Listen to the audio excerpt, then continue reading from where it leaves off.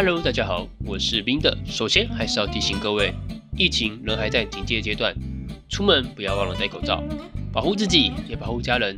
如果逃打的话，建议直接去警察局投案。五月二十五号，官方直营的日服正式开打，可以感受到当初台服的热闹感。顺便吐槽，黑局最近刚开了淡出世界，也是号称测试了几个月，但才一开服就爆掉进场维修，我都不知道是搞负面行销还是技术将近。今天就带来日台版的差异比较，那些你我可能都需要的酷东西，让想玩日版的人参考。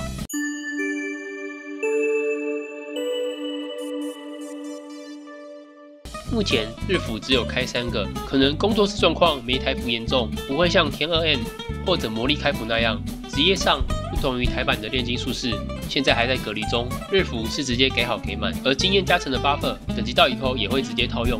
整体来说好练不少。雕刻品系统，台服预计六月更新后时装，开放等级八十等，分成三种不同等级的雕刻品，各种类可装备两个不同能力的雕刻品。雕刻品可以升级、强化、合成。升级的部分很单纯，只要选择不要的雕刻品。就可以提升雕刻品的能力，强化合成则需要使用铜阶作为素材，基本上也是个前坑，但用上去就是一段实力差距的体现。课长们的钱包准备好了吗？韦德的成长计划之前介绍过，就是透过日常小任务提供新手入门的道具。台服的话，希望内容物改一改，有些道具已经不符合现况了。商城整体差异蛮明显的。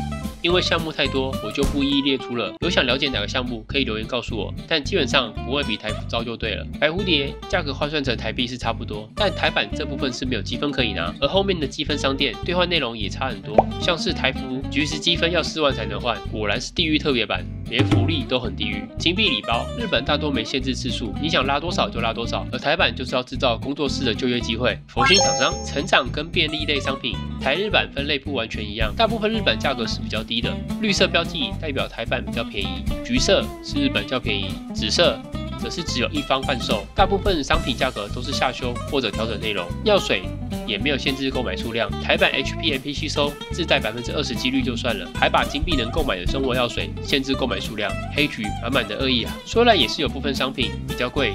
但我觉得无妨，整体还是利大于弊。然后日版徽章商店还保留的好好的，地图采集也是第一波测试中被说有问题的部分。我是没玩过日版 CT 的版本，但对比台版确实有明显改善，尤其在巴兰猎黑熊采生姜，以及在梦洞采矿的时候，数量跟生成速度快很多。然后台版我有遇到一个怪问题是，开采集摆守卫一段时间就变成只会死打怪。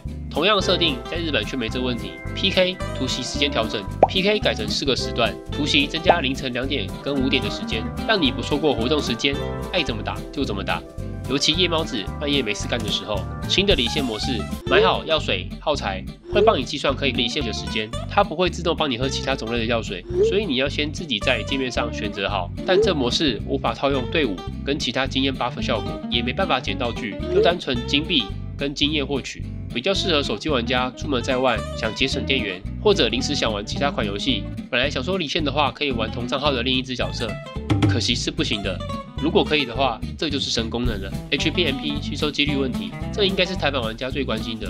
伪灾台版想尽办法坑玩家钱，创造地狱模式给台版，连个百分之二十的恢复药水也要限制购买，就是希望你尽可能多花钱，或者花一百万买个药水。而根据我查到，交易所的暗影手套系列 MP 吸收是没有魔改百分之二十几率的，同理 HP 应该也不会有，只能说黑局就是黑局。最后再补充几个雕像设置的部分，日版无法用蝴蝶扩增位置。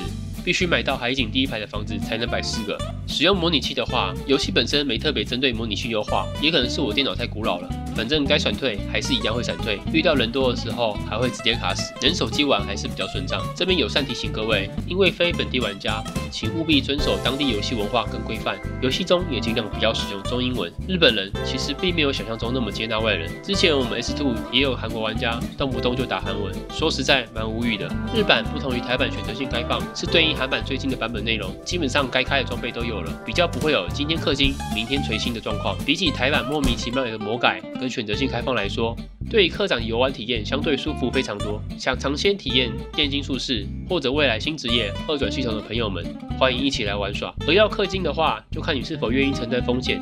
如果未来日服挡掉特定 IP 段，或者被有心人恶意检举的话，是可能直接掰的。虽然目前玩过的几款日本游戏是没遇到这问题。韩版预计六月八号更新，这次会试出新职业枪兵，定位跟战士有点像，到时候我再一并更新。